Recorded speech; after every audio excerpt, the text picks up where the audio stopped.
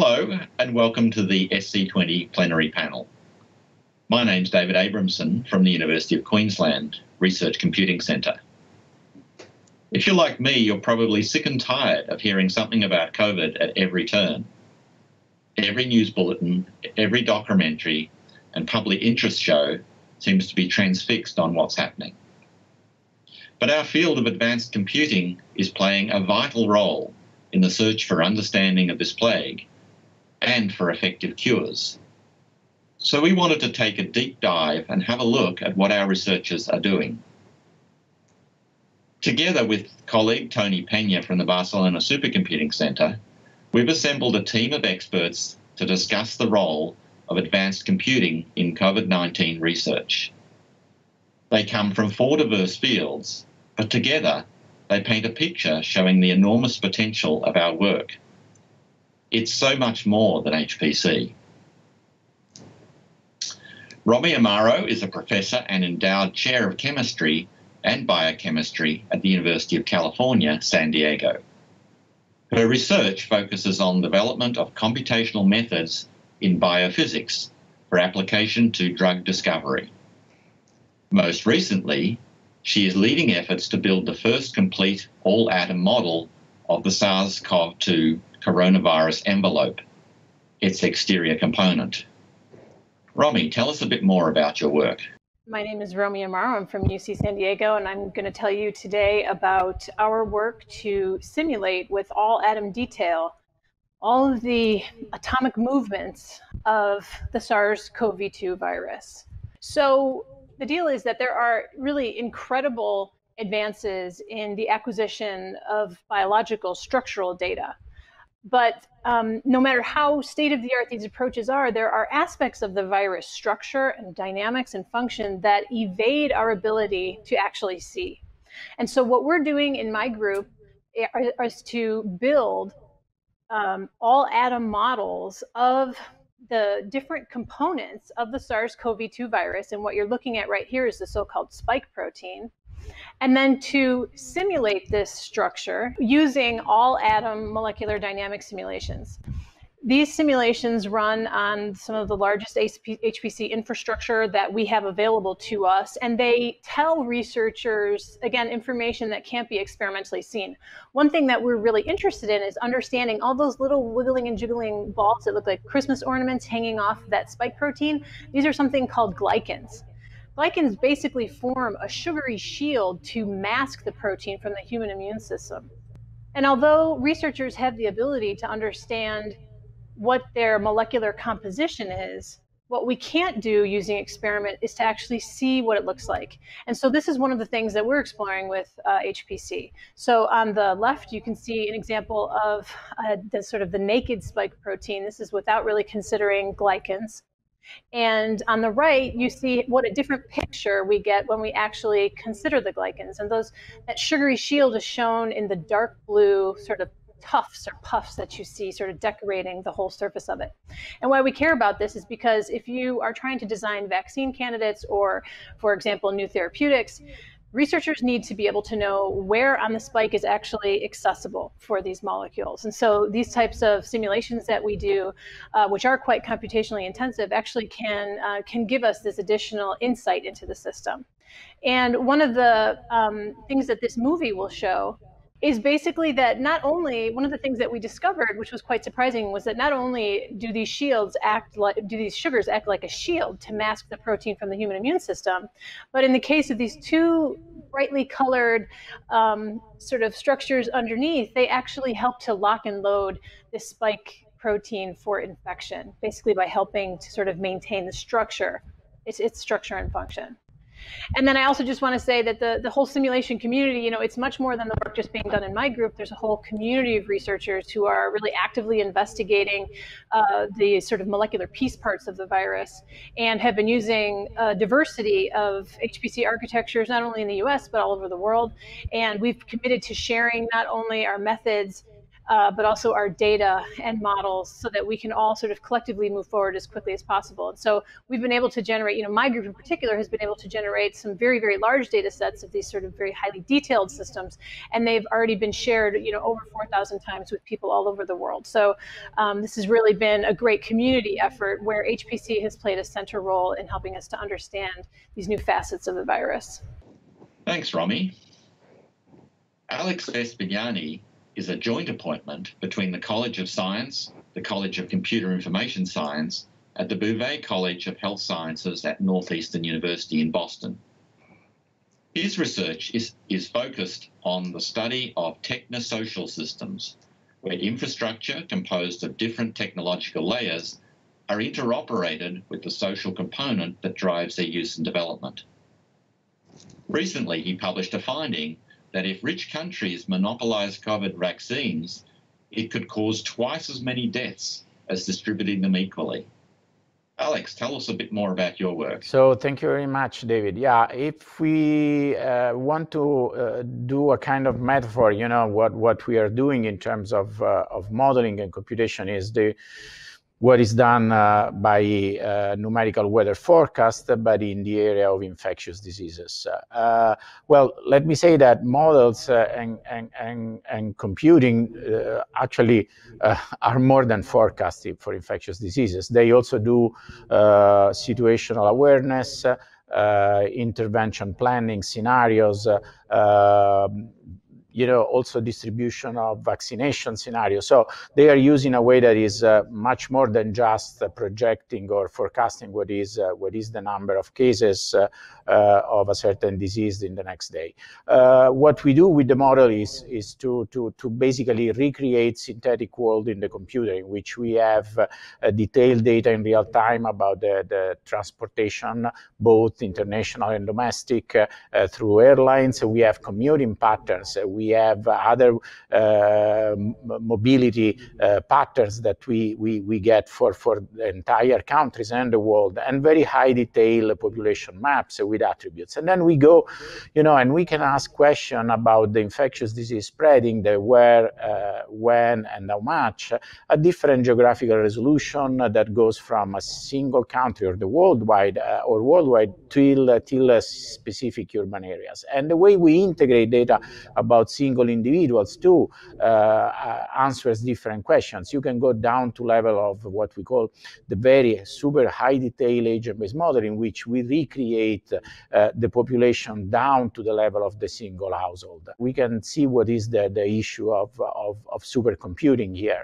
You know, given a model, we, we have obviously specific modeling assumptions that that might depend on the way we we uh, we analyze the, the, the, the, transmissibility or the way the, the, the disease is, is uh, spread from individuals to individuals. But then, especially at the beginning of, of, uh, of an emerging pathogen, we have a lack of uh, knowledge of the initial condition. So where, how many cases, there, there, is always uh, uh, incomplete information. And then all the parameter uncertainty. So what is the incubation time of a new virus? What is the uh, Uh, what is the, the, the, the the reproductive number, and so on and so forth. Uh, then there is all the stochasticity inherent to the, to the process. So if we are in a room with somebody who is infectious, uh, well, there is not uh, a 100% probability of, of becoming infected. And so, you know, there are stochasticity that is added to the dynamic of every model. And so what we have to do is to consider all that possible trajectories that are generated through the, uh, uh, how to say, the, the partial knowledge of parameters and initial conditions and the stochasticity uh, that is natural to the model. And those means that uh, those trajectory have to to be simulated millions of time. And they, uh, when they are aggregated together, generate the cone of uncertainty that uh, when we, uh, uh, how to say, aggregate all the, the, the, those trajectory, generate what we call a probabilistic, a probabilistic forecast. And here, you know, is where we end up in having the, the supercomputing problem because all this is uh, extremely intensive and we can see that just a, a round of calibration can imply millions of runs on millions of instances of, of machines and you know produce uh, uh terabyte and terabyte of data. So it's not just a matter of uh, high performance computing, but also of high performance uh, uh, data, data analysis. Um, this is, uh, it's again, I want to stress that is again a very collaborative effort. So there are many, many teams around the world producing different models and different projections and scenario and forecast. And, and, and the works is indeed to generate ensemble of, of, of those uh, analyses so that we can, can have more uh, reliability by looking at different approaches and providing, uh, providing similar results. This is what is, uh, uh, for instance, uh, done by the Center for Disease Control through the COVID-19 initiative that, that project the, the, the progression of the disease on a time horizon of, of four weeks.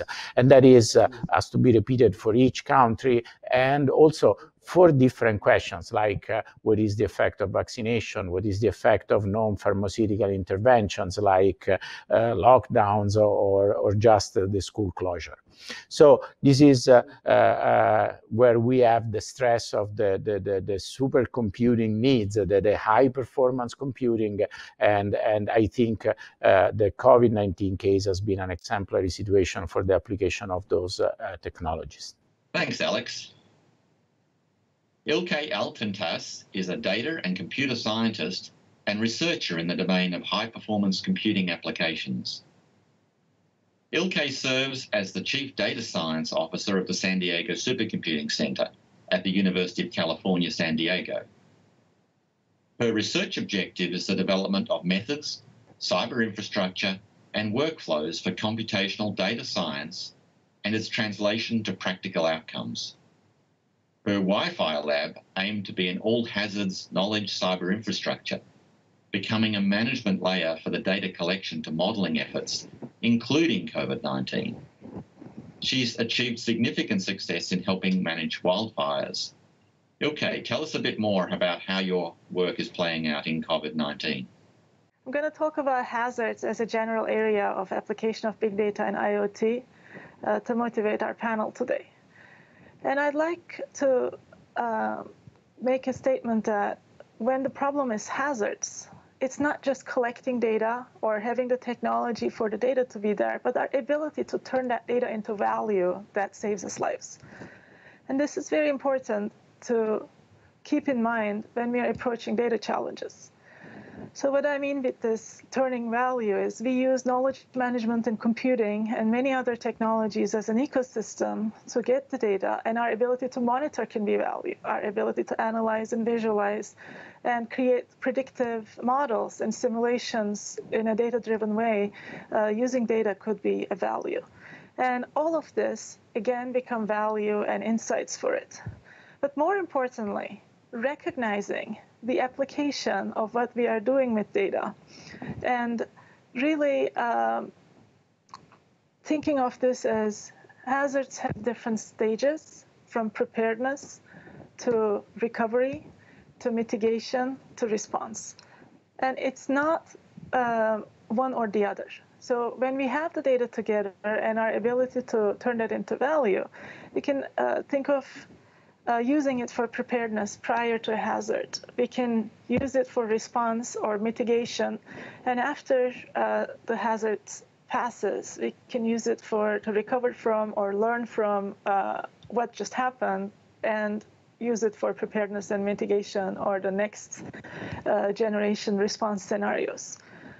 So it's obvious then what we need here is a data system that can integrate, catalog, curate, exchange, analyze, optimize. That drives collaboration through data using big data and modeling at scale. And we need to do it in an intelligent way that actually brings context and helps us with interpretability of the data. But more importantly, turning such data uh, using team science with many expertise is a very interdisciplinary thing. Uh, and you know, using convergence and translation approaches so we can actually use the data in scientific and technological practices that can be translated into practical applications uh, is uh, the other part of the picture. So we need to find a balance between data and computing ecosystem and how we are actually integrating things and how we are solving problems. And in the fire space, I was asked to talk a little bit about our fire application. We've done this for uh, wildfire data integration and monitoring. So the same data sets we can we are using for monitoring and visualizing them to get insights that are lower dimensional insights than just the bits monitoring the bits themselves and we are also generating uh, insights using dynamic data driven fire modeling and ai and computing together uh, how data comes together, for instance, when we talk about fire behavior modeling during response or for uh, preparedness type, type of scenario generation, uh, we can use weather forecasts or long-term weather models, uh, real-time sensors, fire perimeters, and other satellite flight drone detections, landscape data, uh, uh, previous fire uh, data, you know, the incidents that happened uh, in the past, and combine that understanding from the data with the physical understanding of fire uh, and the simulations related to it. And once we get that, being able to communicate that through maps to decision makers is a part of uh, that activity. And when we think about it, there is data and computing here. We can see data, I think, a lot more clearly than computing and AI. Uh, computing is not just in the simulation, but there are many things that can be done through AI. Uh, when we think of data coming from many different sources for biomass or land cover, which we call fuels for fire, uh, weather, both predictive and observed weather, and imagery that's collected uh, as just some sets of these data. Uh, our ability to learn from the data through AI helps us to parameterize simulations and ensembles that give us the fire behavior model a lot more effectively. Um, so we see a lot of use of data management, AI, and edge, cloud, uh, and other types of computing here. I think COVID-19 is very similar to this. Uh, we heard many good examples of science uh, and in different parts of the solution. And when we look at the COVID-19 problems, um, data comes from in the form of disease data, virus models, variables, public health surveys and social media, the contact data, you name it. There are many different data sets that, uh, that were collected on uh, the disease itself, along with the virus and the societal, uh, the societal events around it. Um, when we look at the models, they are on spread modeling, um, drug design, uh, societal impact, health, mental health impact, uh, epidemiological models. All of these are being done to help manage and understand the disease. And it could be practical in the context of decision support, policymaking, vaccine development, treatment, the cure, know, there are so many things we could do in this preparedness, mitigation, response, recovery phases that we are learning from the event that we are all going through uh, as a society. Uh, one example of it is our TempPredict project. This is a project very special because it, I think, individualizes the disease. Uh, a lot of the models and data we are seeing is at the societal public health level. Uh, uh, is a collaboration between Aura and UCSF Health and UCSD. Uh, is to create an early alerting system based on the variables and public health surveys uh, that are being conducted with the same individuals. And to date, uh, 50,000 uh, and counting individuals signed up to donate their data. Uh, and this ring is uh, a monitor of heart rate, fever, uh, uh, sleep, and many other indicators, body indicators. And 500, and now actually there's a little more, of these individuals are known to have COVID-19 during the time they collected data. So that this gives us actually uh, a very important data set to look at the early onset of the disease, what happens to the body in, at the individual level during the disease and after the disease. And when you look at some of these graphs, some of the data set has individuals with flu during uh, this process. And uh, you know, we can compare flu versus uh, COVID-19 effects on the body, and there are many other questions that can be answered uh, about the disease using this data set and its treatment. So I'd like to stop here. Thank you, and I'm looking forward to the panel discussion. Thanks, Ilke. Rick Stevens is Argonne's Associate Laboratory Director for Computing, Environment, and Life Sciences. Rick is interested in the development of innovative tools and techniques that enable computational scientists to solve important, large-scale problems effectively on advanced scientific computers. Rick has been applying machine learning techniques to a wide range of problems, including the search of COVID drug targets. Tell us a bit more about your work, Rick. Thanks, David. Let me uh, talk a little bit about what we're doing in uh, drug discovery for COVID.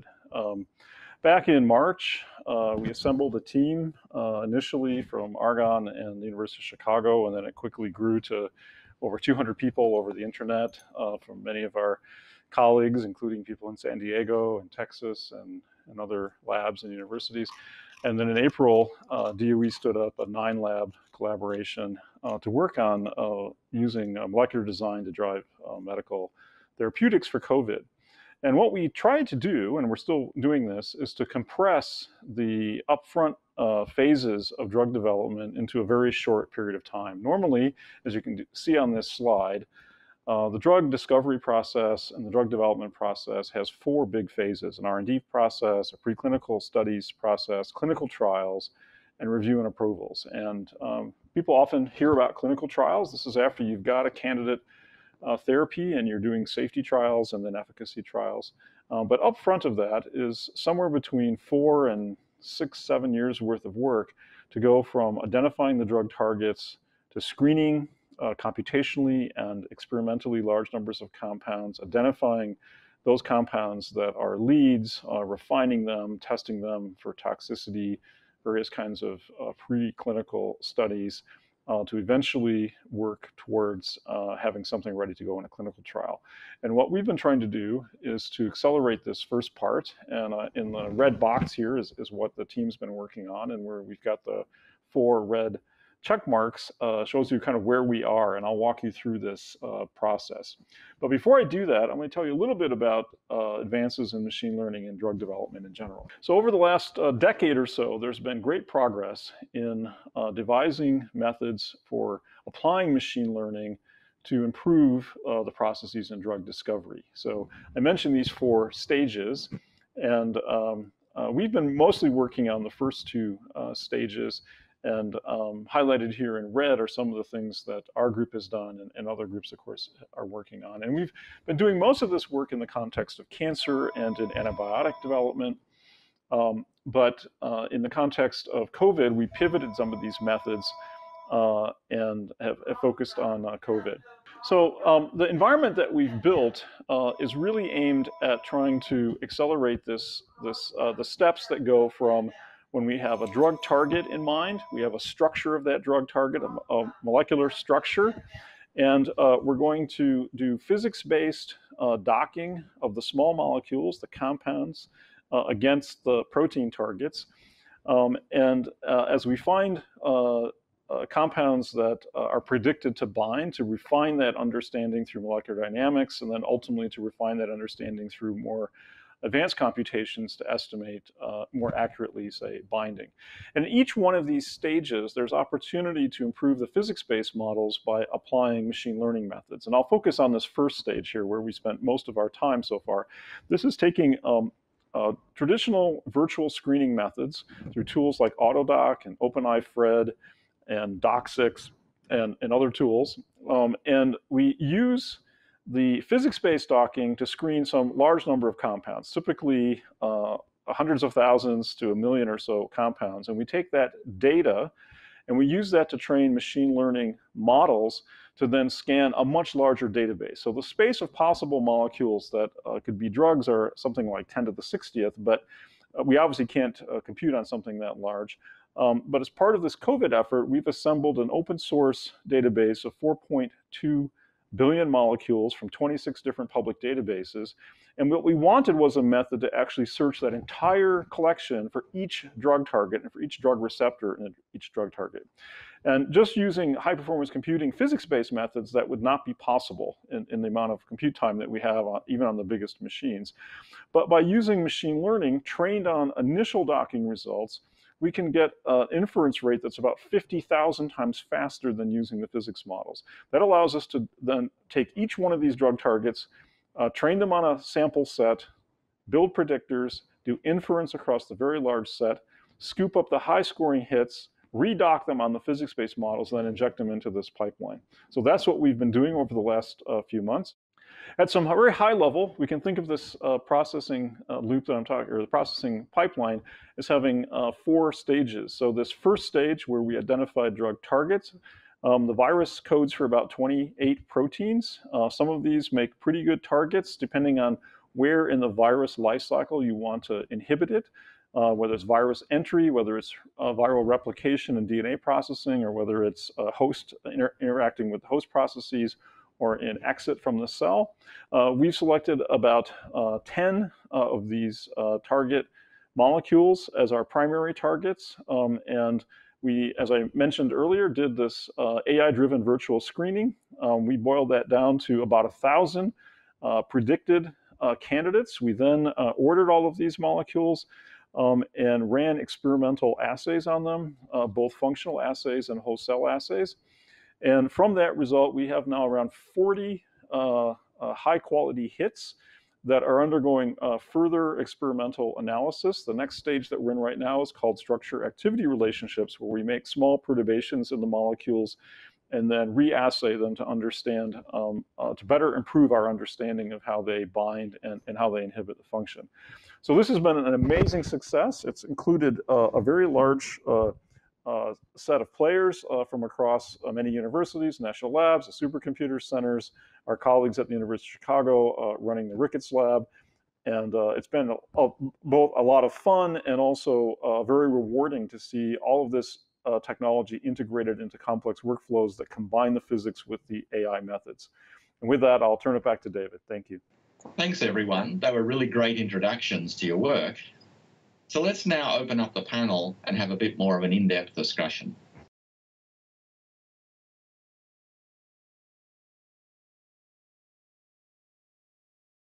Now, what is it, Romy, that's holding you back? Um, you know, is it is it raw compute performance? I think was one of the paraphrases. Is it, you know, I could throw in it might, you know, is it lack of experimental data? You know, I mean, it's true. There's there's there are really a ton of challenges, right, from the experimental data, which is super important for us. Um, you know, we need sort of good structural starting data points to you know begin our sort of time dependent all the integration. Um, but that's coming. That's coming. So you know, from more from a compute perspective, I think you know as we uh, move towards bigger and more complicated systems we um, are definitely hit with an issue regarding uh, you know sort of analysis of these huge data sets. That's like that's very cumbersome. I mean ways to better ways to do that sort of remotely so researchers don't have to pull down these huge data sets and try to interact with them in real time um, would be good or optimized ways to do that interaction. Uh, is certainly one part. Workflows is another big uh, component where you know we want to sort of have better integrated uh, analysis methods, perhaps that also integrate, for example, artificial intelligence and so forth, and being able to detect particular events sort of automatically.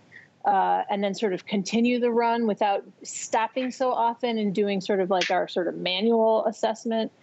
Um, those are some, I think, some some sort of big challenges that we are all, that we're facing in, in sort of the space of molecular simulation. Can I, can I bring up on that question, Alex, and, and just turn that one around to you. So, you know, given the scale of the models you're trying to work with, what is it that's holding you back? Yeah, I think here I can uh, I can add a sobering perspective. Uh, uh, it's really the real world data that is holding us back. Uh, perhaps very few, you know, we are developing these wonderful technologies, these wonderful pipelines, uh, programs, supercomputing. Uh, you know what is at the moment the median delay from uh, the actual death of a person to the reporting of the data. At this point, uh, we are in October, is three weeks, the median time. So you see that you are trying to do forecasts, you are trying to do projections uh, that are for the next few weeks, uh, but you are working with data which are extremely uh, delayed. And the granularity of the data is a problem. So there are many, many things that uh, where the technology, so we should improve at that at that level. We should bring the same speed, the same power that we have done in the supercomputing in in the in the data so, in the HPA data analysis to the data collection, and that's however is a is a is a big step. Rick, let me turn that question back to you a little bit because you're working a lot uh, perhaps more on the technology side of what's coming up. I know you guys have recently acquired things like the Cerebras um, you know ML mm-hmm. frameworks and there's FPGA platforms and the like coming along. What what do you see coming up on the on the infrastructure horizon that you think might you know accelerate? Uh, well, I think there's ser- several things going on. I mean, there's a lot of uh, these startups trying to make AI accelerators like Cerebras and SambaNova and GraphCore and Groq and others and those are starting to work. Uh, they're deployed. Uh, you know, Argonne has some of these systems. I know other labs have some of these systems, and uh, you know, we're moving our models to them. That's giving us acceleration in training. It's giving us uh, some ability to do experiments that uh, you know are different from what we can do with GPUs. But we've got lots of GPUs too, so it's it's really not uh, fundamentally changing you know what what can be done. But um, it is giving us a way to think about the future. Um, you know, and what we're doing with the COVID drug uh, design work, um, you know, the rate limiter step right now isn't uh, our ability to train the machine learning models. Um, it's really the uh, experimental process at the other end. Uh, so we, are able to make a lot of predictions uh, much faster than we can assay them, and certainly much faster we can get then we can get compounds if we have to order them or if we're trying to synthesize them. So I, I think what's needed, you know, as we look forward is some, uh, as we advance on the AI and, and simulation side, we've got to realize that on data acquisition, automated experiments, uh, automated chemical synthesis, uh, you know, things like that, that has to happen. We, we have to push into the experimental space to build a balanced ecosystem where the simulation and AI and experiments are going to come along at, at the, kind of the same rate. So that's that's going to be a big enterprise, I think, for the next 10, 20 years, is to really push on automation in the broader space of science than just uh, you know what we do in our simulation or AI parts well there's also um, there's also going to be you know an equal sort of challenge to what rick sort of your dream of really automating the whole pipeline is also going to be a huge sort of cultural change for the folks in chemistry who are synthesizing the molecules and the folks in biology who are running the experiments. I mean there's right now a pretty big gap between the dream that you just articulated and really sort of where where where where they're at you know and i but i fully agree with you. Yes once we yeah, get there sure. that's going to really be a game changer yeah, it's the business, of course, of SC to dream these things and realize that, you know, the scope of what is in bounds for advancing science and advancing scientific computing, I think, is about to explode, right? I mean, robotics, automated labs, yeah. uh, the kinds of applications where we're not just going to compute uh, you know, a property that we might observe in the lab, but we're actually going to compute a whole trajectory of experiments, and we're going to estimate uh, we're going to use uh, causal inference, and then we're going to have to say we have to do these 500 experiments or 1,000 experiments, and then feed that data back. we want to do that as fast as we can compute, um, and that's going to require, as you say, uh, Rommie, a complete sea change in how our chemists and biology colleagues and material science colleagues are you know, ready to play, right? And and in the mm-hmm. context of these environmental applications, uh, or in the case of epidemiology, right, we should be thinking in terms of what's the sensor outlays that we could make that would solve these problems, right? I mean, Alex talks about delays in reporting data. Well, why the hell? I mean, you know, why aren't we just having mechanisms that can collect this data automatically? I mean, why why do people have to be in that loop, right? I mean, that's what we're seeing in personalized uh, medicine. I mean, personalized, uh, you know, quantitative mm-hmm. self type stuff, right? Where we're replacing uh, an official person making an observation with devices that can make observations. And I think that that's also got to be part of the story going forward. So, Ilkay, maybe you could um, comment on that because Yeah. you've been doing that a lot in the environmental space. Yeah, both environmental and personalized medicine space with our TemPredict study as well. I think it's important to recognize that there are many ways we can collect data today. There's social media data, there's variables, there are things that could be installed in um, built infrastructure for uh, following the virus, like going into sewage actually to detect uh, existence of COVID-19 is happening uh, for early alerts. Um, so there are so many things that can be done by collecting data in a responsible fashion so that we can at the same time inform other systems. So I think the solution to data collection will come from integrating different streams of data into uh, a knowledge environment that uh, many types of questions can be informed with. And AI is a big part of it, turning that multidimensional data into the dimensions that different problems can understand as insights, and using AI techniques to uh, turn those data sets also into predictions that we can combine with uh, sort of this dynamic data-driven simulations uh, of different sorts, both for following the strains of the disease itself, but also for understanding human activity and uh, the effects of it uh, from human health to human, you know, not, not just um, uh, physical health to mental health and other types of societal efforts. So I think we'll see this data collected at all scales from the individual, or even like from the atom to the, you know, Yeah. person to the societal level. So uh, we'll see, I think, at different scales, effects of data and computing. Well, one of the things that sort of does keep me up at night is how we, um, how do I articulate this? How we help, like, how do we really help to make this, these sort of cultural sort of swings? You know, is it with these sort of leading edge examples of teams sort of pushing these individual sort of experiments in some automated way? Is there like, is there another way that we really sort of help to to sort of to catalyze that social construct change or maybe I you know maybe that's a, a question too difficult i don't know I think it's a question that's not too difficult but too complex because I think a part of it is legal. And there are a lot Okay. of challenges in responsible use of data when you think of personalization of solutions. sure yeah yeah And especially if we talk about closed loop between effectivity of drug treatments and individuals and their experience through the disease or uh, you know the societal changes around it, I think we are going into much harder questions, so to say, of uh, how do we bring the system that collects and utilizes this data together with the computing and AI uh, things that can be done.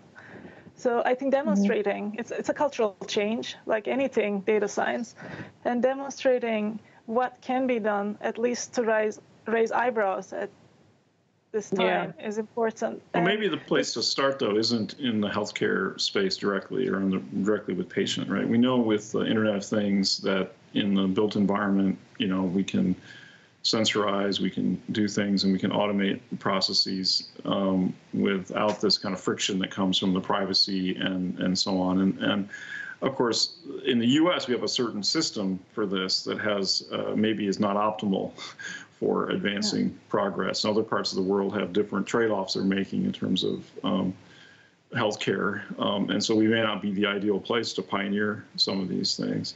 I thought though when Ram- when Rommie was talking that she was actually kind of thinking more in terms of not so much the patient thing, but more in terms of the scientific Just research people. space. Yeah, Yeah. and, and just uh, because you know what we what we think is is uh, the case is that you know groups that um, demonstrate uh, success, and and of course it takes a lot of uh, work up front before you get to that success. But if you start showing that you can do something dramatically more powerful than what your colleagues can do, eventually people will flip to doing that because they it's a competitiveness thing, right? And so uh, what what we're going to take though is enough pilots and enough uh, examples to where it's not just some person being you know some group. I'm often accused of this, but you know being crazy trying to do something over here, but but it starts to Oh, become, yeah. gee, there's half a dozen groups doing this, and it's starting to become a little bit uh, normal. And at that point, um, you know, it, it starts to take a lot on a life of its own. And the issue is how to get institutionally, how do we get to things to, to that state? Well, I in some agree, cases, and- what we what we are asking to those fields uh, which are the input and output, at the input and output of what we do, is to reinvent themselves.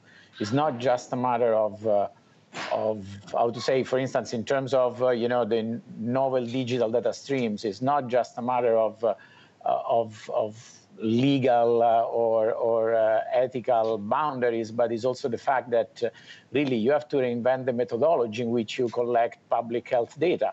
You're uh, analyzing public health data from um, that are not um, how to say not made for that kind of analysis. Uh, you have to convince a field that those are valuable data, that you can use those proxy data to provide valuable information, that uh, the time of turnaround of, of, of, of that we can provide with, with computing is, uh, is, is on a complete different time scale than uh, those fields are used, uh, are used to. And in a sense, you Yeah. know, the, the, the- our, our way of, of working with data becomes driving for the other fields. That is also something difficult to accept. You know, when you, when you say, well, now they have to change the pipeline of how you you try uh, to do to do you do experiments for for testing new drugs. Uh, you know, basically you are dictating how how to do that, and and and you know this is a huge. Uh, uh, change that is not cultural is, is really reinventing the field in a in, in a way, and that's that's a lot. I wanted to pick up on, on a slightly different question here around. So, so, so one of the critical things for, for everybody here is that we trust the outputs of our models, and of course, you know, there's no there's no greater example of that in climate science where this stuff has all been challenged. Now, I guess you know, for Rommie, the test for some of the theoretical chemistry is going to be, you know, to experimentalists, guys, go and make Oh, yeah. this thing for me, and, let's measure that, right? So it's very controlled. Um, but but you know, Alex, the problem you've got is this is a living lab, right? It's unfolding in front of us. Um, so so have you got some methods, or are, you changing the way you do things there that we not only get results, but you know we get we get results that that people are actually going to believe? Are there some techniques that we can? Well, you know that is uh, is one of the big challenge. So the validation of, of the model that you that you uh, uh, implement. The the the uh, I think, however, for instance, from weather forecast, we got a way also to go around that. You know, it's uh, I I don't think that we want to go into a super model that has all the answers and is the the, the one that is reliable. What we are going uh, to is to use super ensemble and ensemble and super ensemble techniques in which you combine a portfolio of models then you ensemble the results uh, and then you have a kind of uh, uh, more reliable trajectory for what is the epidemic or what is the, the, the public health uh, uh, threat or, or, or, problem you're analyzing. And this, however, brings even more the, the, the, the supercomputing uh, and the high performance computing dimension because it's not just a matter of having one model, but actually to have portfolio of models and then combine them that just you know all the data analysis of the output of those models their combination becomes a, a, a high performance uh, computing challenge. And that's uh, that's what we are trying to do for instance for with the center for disease control at the moment there is a covid forecast hub that integrates more than uh, a dozen models so at this point and this is this is the future. Each model has different assumptions, has different, slightly different methodology. Some of them are uh, purely mechanistic, so they just do the simulations of at the single individual levels. Others are, you know, black box, more machine learning or deep learning algorithms. So, and you can combine those, and and and uh, and the idea is really to to to get the best of all of, of those uh, uh, worlds. And I think, however, this uh, stress the importance of creating uh, national center, for instance, for uh, outbreak response, uh, to have infrastructure like the one that we created for, for weather forecasts and other problems, in which supercomputing is at the center of those infrastructures. Yeah, that's awesome. Oh, you want to say, okay. Yeah. I wanted to add that, that there are things you could do through simulation and modeling. And I think this opens also the way our ability to collect data opens a way to do it in a dynamic way. So you don't have to model every parameter if some of them are measurable. And being able to take advantage of computing and AI to bring what's measurable and combine it with simulation uh, requires a, an ecosystem that's more heterogeneous than any of these different parts of the solutions are used to using or utilizing. So we need to take, be able to take advantage of edge and uh, exascale at the same time, or big data systems and different networks. So all of it create an ecosystem, and I think uh, a, a, part of the solution will come from our ability to use these heterogeneous systems with uh, even more effective middleware technologies. So in the middle of that ecosystem, there are some missing bits for computing that needs to be solved uh, for us to be able to combine. Because like when I think of our fire uh, experience, when we started, just the fact that we claimed if we got ongoing perimeters from edge or other uh, types of sensing environments, uh, the ongoing measurements from the fire itself and combine it with ensembles of fire simulations, you know, we would be at a better uh, place to sort of incorporate the changes based on the individual fire behavior while it's happening. And just 10 years ago, when I said this, I really had people laughing at me. Right? You'll never get that type of data ever. And the goal there was to demonstrate. And 10 years later, indeed, it's it's possible to collect that data, and the techniques are getting ready. But together with those techniques, fire science is becoming, I think, more collaborative, transparent, and open. I, think groups are coming together to create those ensembles, and we are seeing more and more approaches of science and AI groups coming together to combine data and computing and turn that into practical insights. So I think in the public health or you know uh, sort of disease prediction and solution space will see the same thing. It's going to be a lot more effective and easier if we put in the right data and computing systems to work together to solve the challenge. And that's one of the things that right now standing in front of us as a blocker.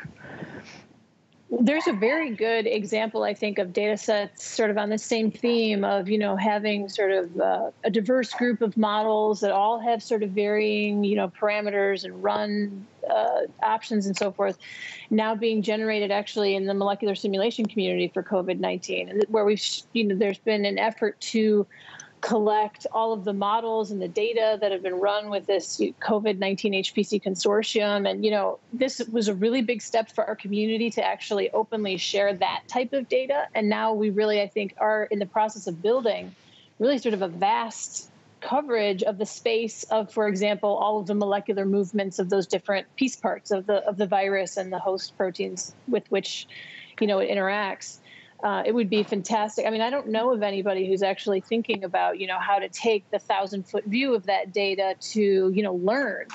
But certainly that's going to be there as a legacy from these types of projects uh, for COVID 19. Once, of course, it becomes common to get access to these large meta collections of things, um, it'll drive progress in AI, right? To uh, because these things are not, you're not going to understand them by just staring at hundreds of hours of you know MDE simulation movies or whatever. You're gonna we're gonna have sure. to build systems that can um, kind of in some sense ingest all of this data and and be able to become kind of like a question answering system about the the instances of data that it has. And um, in that sense, you know, we, we can imagine that that the future is going to be not only about how do we set these problems up, how do we do the runs, how do we you know get a handful of you know, Yeah. skim off the cream publications. But now you've got these large archives that can be mined in the future. And and how do we design these things such that they can be? Um, you know, if you look at what's driven AI progress, certainly in the last kind of 10 years where these these kind of mammoth efforts like ImageNet to build training data that was labeled and that lots of people helped with and of course at the time they were viewed as crazy to start those efforts uh, as well. And then Oh, yeah. of course five years later they're winning competitions with it the classic uh, paradigm shift. But um, the same thing is going to happen in these scientific simulation data sets um, and the, the big difference is that you know, you can get a lot of people playing with computer vision because it everybody has eyes almost, and and and people you know can kind of uh, self-interpret what the data means. But now when we have these big data sets like these big all-atom simulations of big systems, it, you kind of need an expert to interpret what's going on. And the and this what I, I view we're going to have this crisis of domain expertise, right? We're going to have lots and lots of data sets and we'll have CS people um, and architectures that can do AI, but we're going to have this rate limiting step, which is going to be um, how do we uh, character, you know, how do we understand whether the things we build to understand the data are actually understanding anything, and that's going to create a whole new discipline. Um, Yeah. You know, how, how many experts can we cram into a box uh, and have them help uh, because we're going to need AI across all these spaces in science and engineering and medicine. And there's not enough people Yeah. that really to do it. I mean, this is this is an argument for how AI is going to create jobs. It's also an argument for what's going to fuel the future of computing. Um, and it's going to be very different. It's, I have a it's kind of like, you know, yeah. Wait, so so in this view that you're talking about, um, do the domain people what is new that they need to learn? Then is it the similar things, or is it just uh, are they going to have to have to be with new part of a, of a larger scale, you know, teams to um, to help and work with the AI researchers and with the, you know, our Yeah. community, right? Just to say, okay, I can train this model. It's computed for a month on this data, and it's it's it's learned something, and uh, and I mean, I'm being hyperbolic here, but you know, it's learned something. We can make certain kinds of predictions. Are these predictions meaningful? Um, if I build an AI system that has some interpretability to the representations that it learns, who's going to help me understand those representations, right? I mean, is it So my that's what I call also the high value zone for the data. Right? There's so few people who can actually generate simulations or use large scale data to use large scale compute to do something to generate insights with that data. And you know that's the data reduction effort in a way. And in the whole field of data science data engineering data annotations you know knowledge generation basically once you have that if you could actually capture that and save it in a way that it's findable and usable by others you have a highly valuable data that could then affect change in different ways I I think that's true if people can understand what it means. And I think it's so this is where the fair standards and all this kind of stuff fail. Because, Yeah. you know, I, for example, imagine uh, a genome, I'll just use genomics as an area I work in, right? So we have literally terabase, terabases of genomics data, and it's easily uh, shareable, it's easily obtainable. But Yeah. uh, the average, say, computing person can't interpret it. You, you have to have Yeah. whole systems and training and bioinformatics tools and many things to actually understand what is contained in these things. And if I build an AI model that I train on a million genomes and I ask it a question like, is this uh, protein, you know, just show me examples of novel proteins and maybe conjecture what those functions are, which uh, is a perfectly reasonable question to ask a, you know, if I had a grad student that was looking at a million genomes, I'd ask the grad student that, and if, if they mm-hmm. were had a brain Yeah. the size of a planet, they could ask, answer the question. But it's a perfectly reasonable question to ask an AI. It's really difficult now to find the room full of people mm-hmm. that are going to look at what the AI is spitting back, which might mostly be nonsense Oh, I see. Yeah, and give it and tell me whether it's actually doing anything. And that's what I meant by this. So it's not sufficient to do all the things that, I mean, you know, what Ilkay's talking about is wonderful. We have to do all that, but it's not sufficient. We're going to have to have teams of people who are, in some sense, partly curators, partly domain experts, critiquers. They have to be able to plug into these AI projects. And that expertise right now is extremely limited. Doesn't matter what the domain is, whether it's earth science, epidemiology, molecular mm-hmm. dynamics, fire science, you know, whatever. You know what I'm talking about. The people who can bridge those spaces yeah. and who have enough understanding to make useful contributions. And that's what the next generation, we've got to create a whole community yeah. uh, that can do that, right? Uh, otherwise, the progress is which is why I can't say fair without saying responsible. I'll always say fair and responsible because responsibility is exactly what you said, right? It's interpretability, it's trustworthiness, it's accuracy, privacy issues in there. There's all these things, the scientificness, you know, there are so many domain specific things in the data that needs to be measured and explained for it to be useful. The uncertainty sure. The I mean, I mean it, it has to be all that, but but what I'm saying is the the under you know there's two things. The data has to be understandable, which means it has to be complete and all these kinds of things you're saying, but there has to be a, a person available to understand it, right? So I could have I could have access to all the. all the way know, to say, if you had enough in there, AI can handle some of that and that's I think the balance we'll find. I agree there needs to be person or persons, you know, team behind it. But at some point, I think we'll have systems that AI will actually step in and help aid the scientific yeah, endeavor. Yeah, I'm just talking about how do we bootstrap those systems because initially yeah. they're going to be really uh, sketchy. Yeah, difficult to get. Yeah. Capturing that expertise and teamwork, right? That's exactly. actually, it's not just the, the, the, interpretation of the results. I think probably one of the most important things is the is posing the right questions. You know, in many cases, yes. we ask you know, uh, domain expert in the, the in, in, in, in, the algorithmic or, or computer part, we, we, we might lose the side of what really has value and what are the right questions to, uh, to ask. And as you know, models, you know, have to be built uh, built ar around those questions. And so everything changes in the pipeline if you don't work side by side with those domain experts. And you can't appreciate what is the quality and value of data that you are introducing in the pipeline without without those uh, those domain experts. So I, I think we need to evolve into into those large interdisciplinary teams uh, uh, where there is this capacity of, of bridging the gaps of, of language and and, and, and, and, and, and technicalities. Otherwise, we will always be a little bit lost in translation. And, and, and I think probably that has happened to all of us to create wonderful things that are wonderfully useless in a sense than on in, in the real world. And, and yeah that that happens many times. And and what we want to have is this uh, those teams uh, that, that were, were really step by step from the conception of, of, of the project and the research till the final uh, use, uh, you are all together bringing your contribution, but with this ability of translating to different languages and different uh, different problems and, and, and, and, and disciplines. Yeah, I think having that understanding that science and technology without extra effort on the convergence of it doesn't really translate into practical application always. And actually, I would go all the way to say, if we don't think of it from the beginning, that impactful application in asking that question, it's often not the case.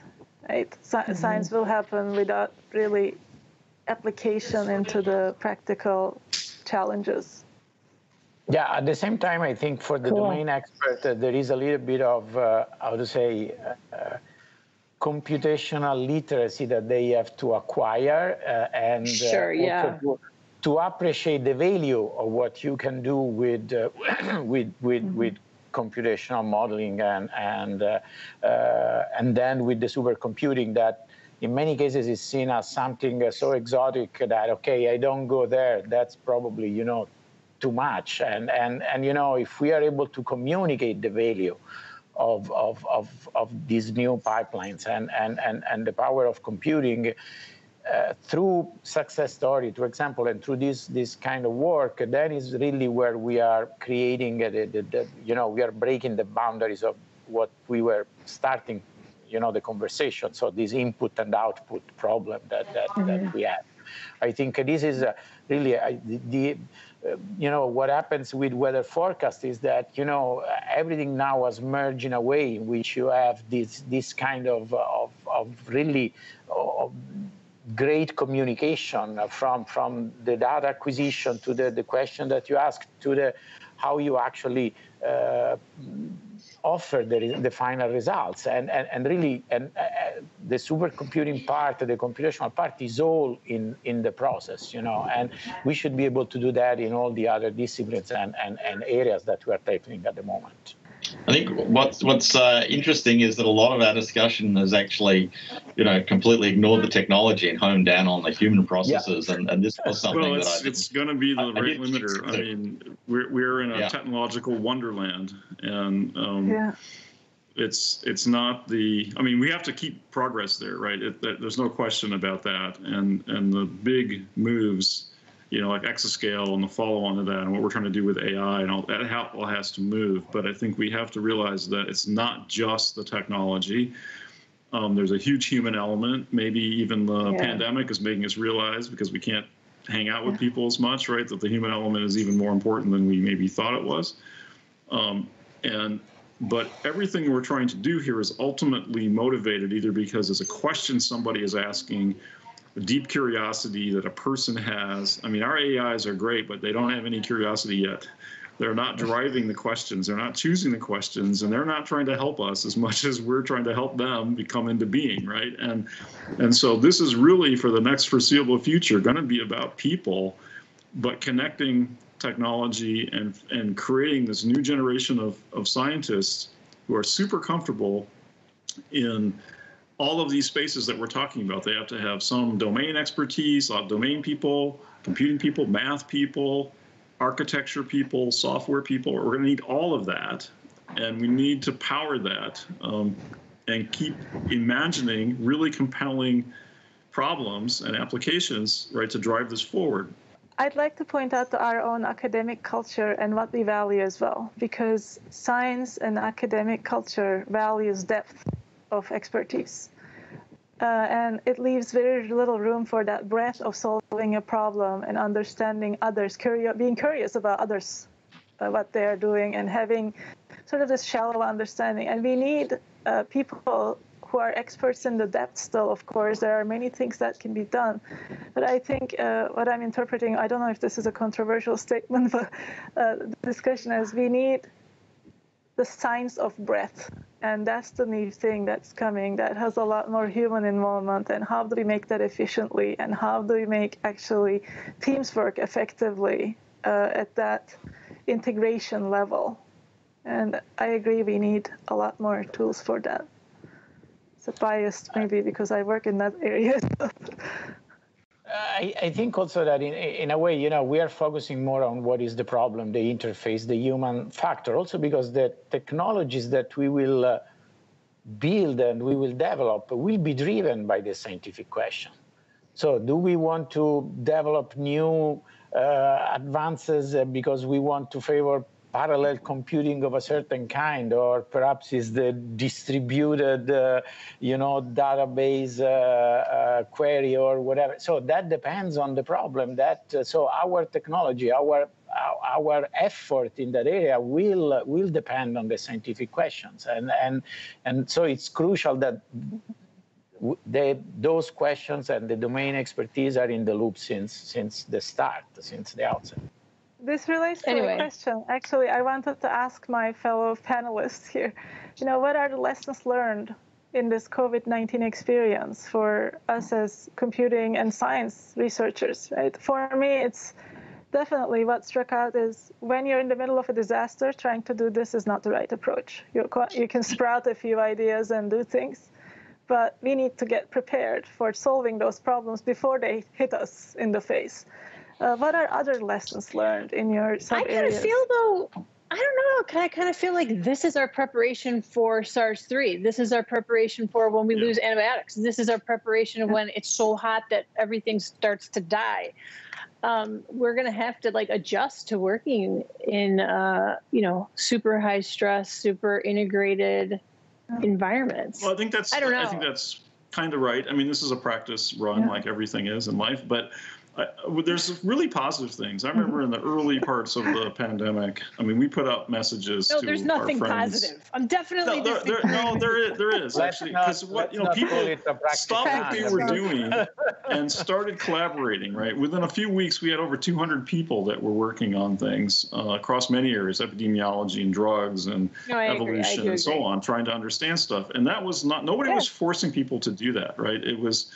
It, it, people were coming together and, and we started using the technology that we'd already been working on for other problems. And it's true, some of us have Sure. been working on antibiotics for a long time, so you know it wasn't that you know, cancer or something, and so we pivoted. But but the fact that people jumped in and it was relatively easy to find something to do that was useful, and, and we kept rolling, I think is a really good sign.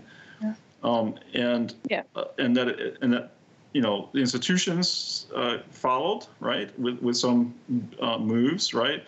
Um, but what this means is that people are pretty resilient, and if you're a technologist and you you have a, a kind of a spectrum of things that you can do to be useful, right? You can quickly find something useful to do when there's a crisis, and that's what people have done. Now, how do we avoid the startup cost and the frustrations and the you know randomness next time? I think you've got to Yeah. have some sustained capability. I think is what you were getting at, Rommie, right? And and uh, and Alex was talking about this too, right? If you have some kind of national center that's kind of prepared for these things, and uh, what's really interesting is right after 9/11, uh, there, you know, NIH set up centers and lots of people had reactions, and there was a lot of stuff going for quite a long time, and then no no new bad thing happened, and then some of that got torn down, and now we're having to build it up again. And so what we're the lesson, one of the lessons we're learning is that we have to have patience. You know, if we uh, you know, humanity's gonna be a long time on this planet if we are careful, and we have to build institutions that that uh, you know can be resilient Help against these things. promote our own longevity. yeah. So that, Yeah. that implies that we need to find the mechanism to make those efforts sustainable. Also, when you tend to Yeah. forget about the emergencies and, and, and the threats. Uh, and Yes. you know that the, for, for instance for pandemic we have been telling all agencies and all governments of the world uh, every other month about the fact that uh, the next pandemic was not a, a matter of a if but just a matter Yeah. of when. And you know but yeah some things moved and then slowly you start to get a few coordinated effort. But you know i, I think then here you see what you really need to have uh, and deployable on the field uh, right out of the, the, the, the- the start of a pandemic. And and uh, I hope that this will be a lesson for many, many other areas, for many, many other problems. But they require resources, and that's that's that's one of the major uh, thing to say. You know, that's not just uh, oh well, we will fund a little bit more uh, university teams here and there. You know, this is really creating framework, large-scale framework of large-scale Yeah. collaboration. We have been able to do in certain areas. Just think about physics but you know why we don't have to do in other in other in other areas or disciplines in a way that is distributed across the world that's that's that's crucial that we learn this lesson now and where i mean the, the large initiatives and and, and coordinated effort i just don't mean the, the government or the, the, the federal grants or or the, the, the things but even the corporation and, and the, the, the business world. So what we are seeing here with COVID, that you know everybody wants to uh, to contribute. Everybody wants to do something relevant for, for the effort. Well, we have to keep doing that also in peacetime. I, I, I always distinguish now, we are in, in a wartime, and it's easier to, uh, to have a call for, uh, for arms for everybody, you know, and say, yeah, just join the, the, the, the army. But then when we enter peacetime, this is the crucial moment where we have actually to prepare and to do things more than than, in, uh, than now, in, a, in, in a sense. And and that is the very difficult part to communicate. This is where you know the big events like the one we are participating, etc., are to make uh, a, call for, for those kind of uh, uh, initiatives because that's these are crucial for the for the future. Thank you, everybody, for what was a really great discussion, and thanks to the panelists for putting in in this this time. Um, we'll now be turning over the questions to my colleague Tony Pena, who'll be taking moderated questions uh, live.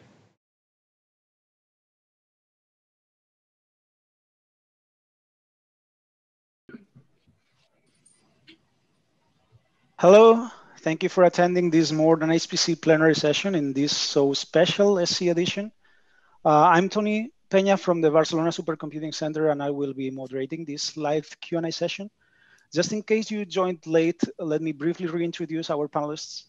We are with uh, Professor Rommie Amaro from the University of California, San Diego, uh, Dr. Ilkay Altintas from the University of California, San Diego, um, Professor Rico Stevens from Argonne National Laboratory, uh, unfortunately, Professor Alex Vespignani from Northeastern University has been unable to join us in, in this session.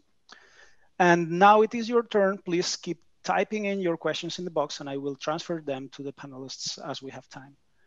Um, so we have a question from Philip Roth. Uh, uh, he says, in your work on various aspects of on the COVID-19 response, which things outlive the current crisis, crisis and which would you revisit to do uh, differently if you had more time? I can go ahead and take a shot at that, Antonio. Um, right. So, uh, for the types of things that we do, in terms of which things outliving the current crisis, I think that the ability to sort of rapidly mobilize the HPC consortium, you know, I hope that that could be like almost instantaneously you know recapitulated. And you know they they did get that up and running pretty quickly but in in a case like when you're solving the problem in real time you know every day really matters. So you know hopefully that's something that could be sort of restarted. Um, i think another sort of aspect more on the research side has been the that i hope will outlive the current crisis is this sort of real integration across the sectors um, I think that you know we have not to do a shameless plug, but for the research, um, even from what I presented, has really matured over the past uh, couple of weeks.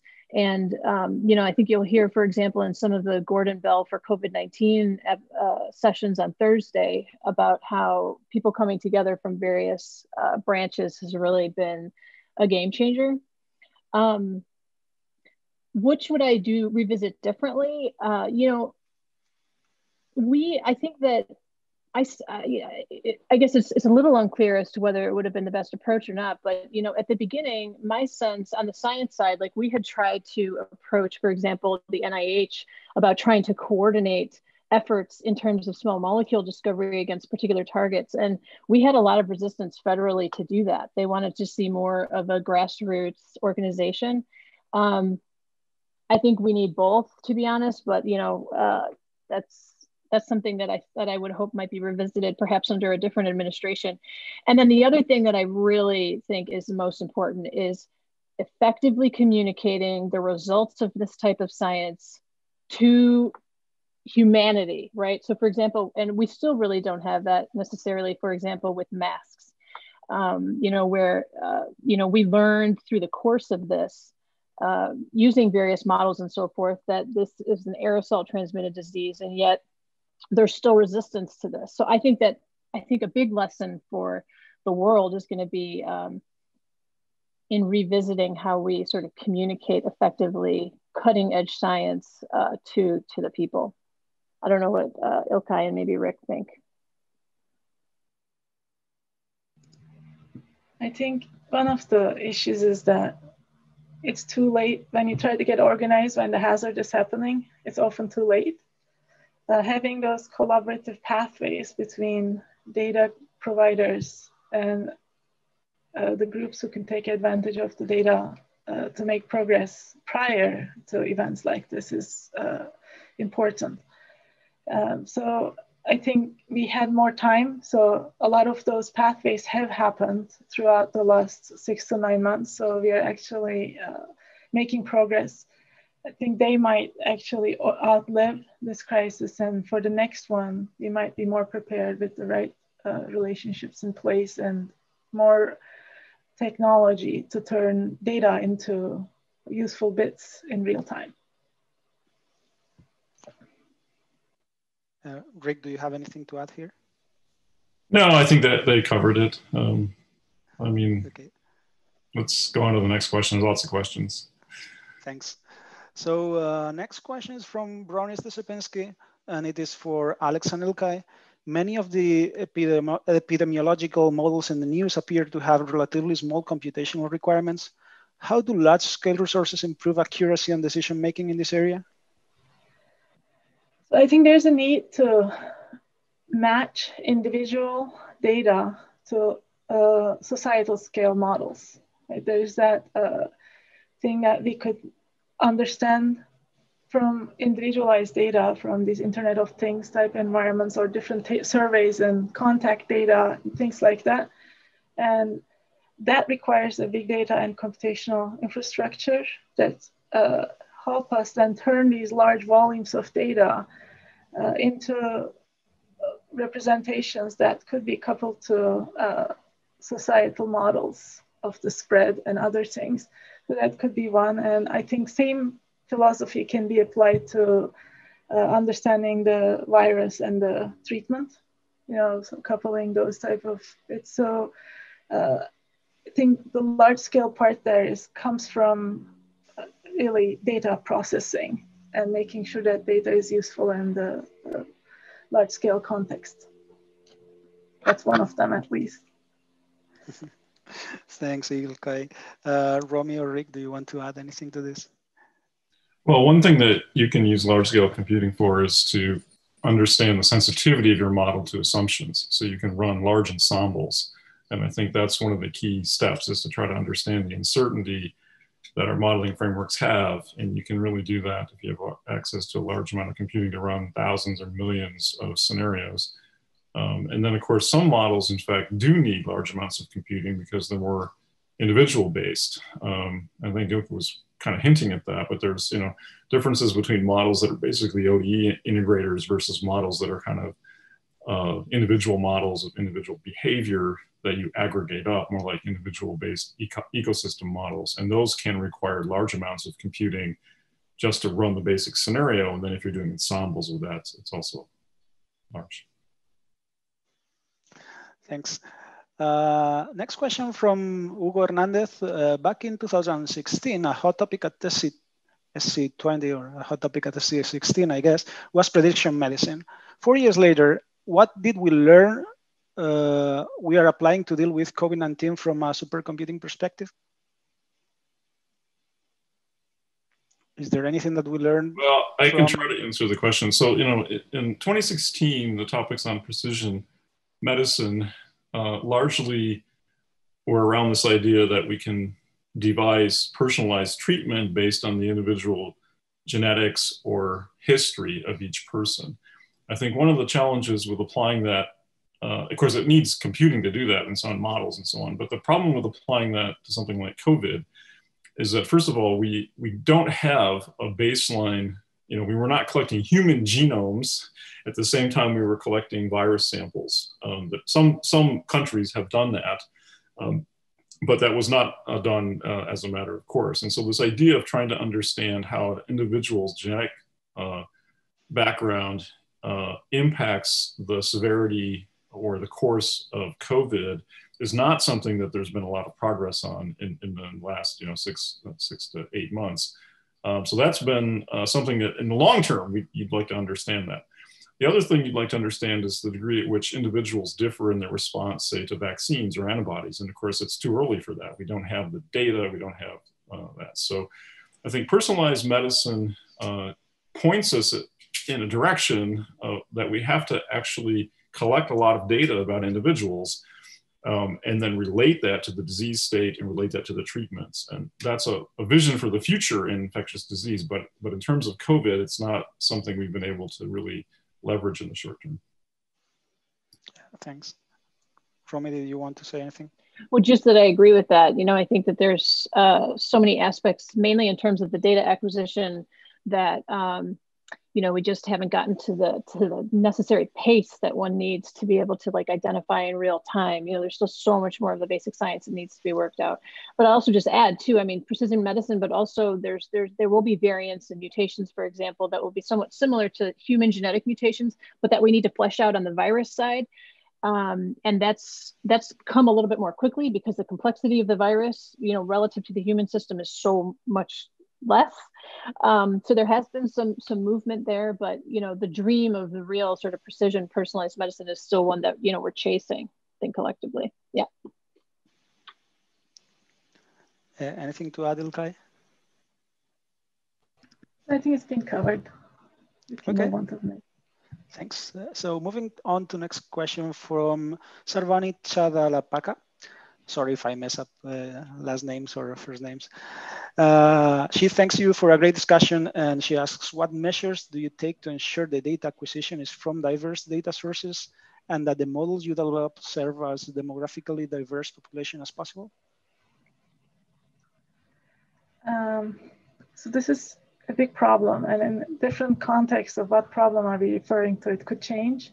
Uh, I can go back to the ring data, for instance, right? Uh, we have this large scale study uh, coming from individuals and there, uh, one of the approaches have been to, um, to uh, communicate with, for instance, um, authorities to get data on the prisoner population or, um, you know, uh, other underrepresented or disadvantaged communities. So we could reach out to them and create basically data sets out of uh, such populations. That's been one of the approaches.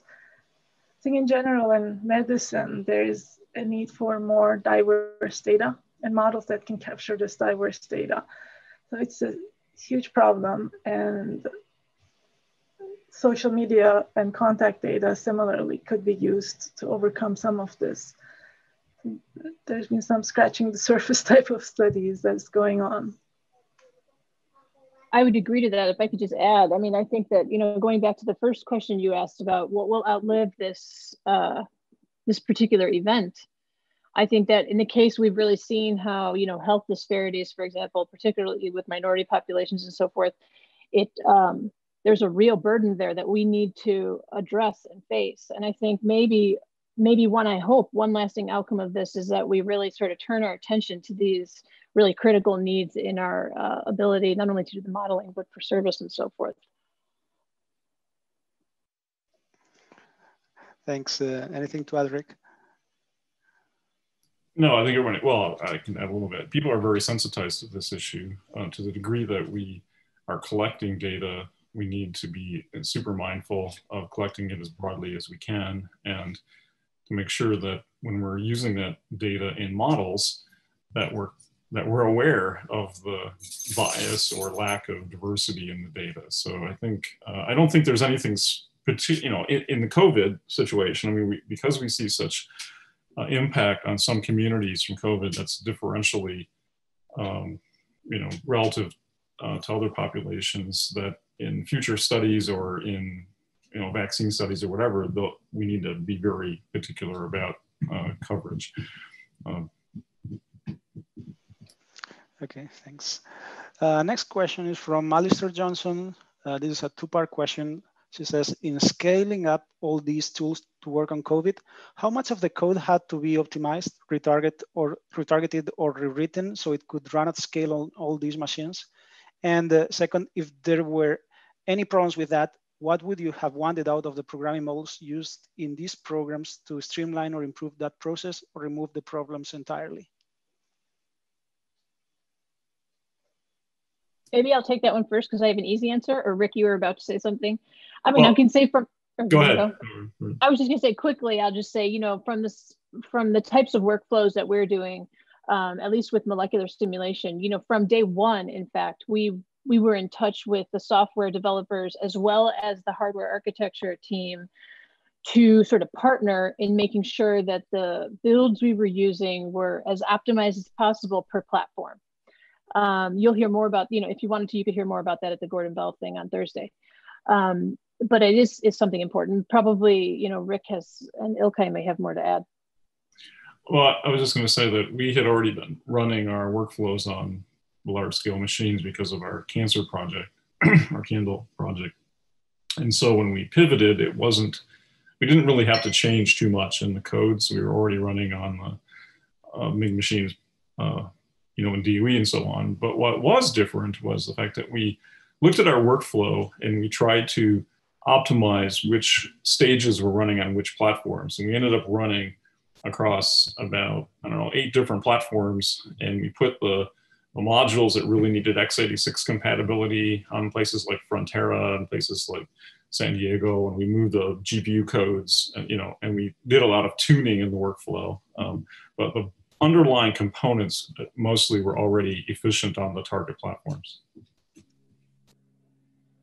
I don't have a lot to add to that, but coming from a big data point of view, similarly, I think having the right architecture and the platforms to handle, you know, real-time updates over time and know, having large memory architectures, for instance, to be able to do uh, large volume ma um, matching for creating features out of these data sets, uh, statistical features and things like that.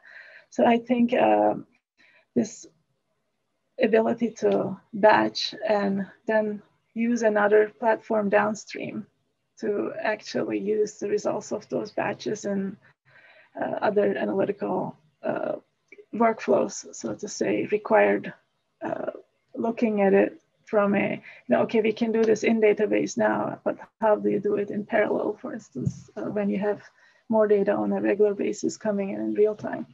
So um, those type of things, I think, uh, are slowly becoming more mainstream, but this type of pandemic studies made it really apparent as a need. If I could just add one thing, actually, maybe just if I could add one more thing, because actually in listening to them, I was reminded of something. Um, we did run into issues. So uh, I didn't talk about this in the in the plenary, but um, you know, the spike protein, for example, we were trying of this, uh, you know, for the virus, we were trying to do use some novel AI methods to help us sort of drive the conformational sampling to accelerate what we would find in simulation. And there we did run into significant memory issues because this is like, you know, a lot of the development work for these types of codes has been done on much smaller systems. And then when presented with an, a real challenge like with covid it did really sort of stretch the capabilities and that took a, a, lot of sort of like figuring out which would be the right hardware and you know i'm not the right person to talk about the details of that particular code but we did face that and the other thing that ilkay mentioned that i just also wanted to touch on was this idea also something that was really important for us was using really so many pieces of the cyber infrastructure ecosystem where we could do sort of preparatory work, for example, on Frontera that was really critical to, for example, building the virus simulations. But then we were able to run like production on Summit, you know, um, and having that's just one example, but having the ability to sort of to touch on and to really use uh, in a sort of rapid turnaround manner. Uh, you know useful way you know these different architectures was has was really key for us and i think probably will be something also that for you know future events like this. Thank you. Uh, next question from Andrew Michaelis. Uh, there's a fair amount of discussion about ingesting data from public and private sources here. Given the lots and lots of data sets one may ingest and use to achieve a result, what do you advise on data integrity, the risks of data manipulation by the nefarious actors that could lead groups to an intentionally bad result, etc.? Any good examples of a bad result that was achieved using bad data that sticks out in your minds? Just curious. Um, well, I don't have any particular example of bad data that was a result of nefarious, you know, minds, but what we did try to do in our workflows is build in as many internal consistency checks as we can. So we're constantly looking at the distributions of these very large data sets. If you have billions of molecules coming from a library and you're trying to screen them, you don't have time, you can't look at every single molecule, but what you can do is make computational passes and look at distributions and look at outliers and look and, and ask questions of the large data set uh, through queries to see if, it, if things meet your expectations. And if you've got two very large collections, do those distributions, uh, how similar are they? And if you're making assumptions that they should be similar, if they're not, why, why not? And you dig in. So I think the idea here is that for these, uh, these large public data sets, I'm not talking about public as in, you know, personal data sets, but from companies and from academic groups, um, we're constantly comparing them Uh, and in the case of molecules, case of compounds, you can compute representations that allow you to uh, search one with the contents of another one and so on. And that, that was super useful in trying to understand how unique are aspects of these data sets, how much overlap is there. And I think all that adds to our confidence in the results. Um, but I think it's an important question that uh, when you're aggregating terabytes of data from many sources, you have to have tools to actually help you answer this question. And to add to that, when you have multi-modalities of data, I think some of the data can be used to check, cross-check integrity between data sets. And uh, so you know, I don't have an example for that for COVID-19, but for instance, for fire ignitions and perimeters, we use data from multiple sources and create an uncertainty on uh, where the fire is or what the ignition point was. I think similar things could be applied to this type of problems. Anything to add, Rommie? Okay, so unfortunately we are out of time. We know there are there were many, many more questions. This is what we could uh, reach. Uh, I would like to uh, thank uh, our panelists, Rommie Amaro, Rick Stevens, Ilkay Altintas, also Alice Vespignani, and, and my colleague, David Abramson. Uh, thank you all for attending. And before you log off, please stay tuned for some brief information on the conference's first ever virtual exhibits program this year. Thank you again, everyone, and goodbye.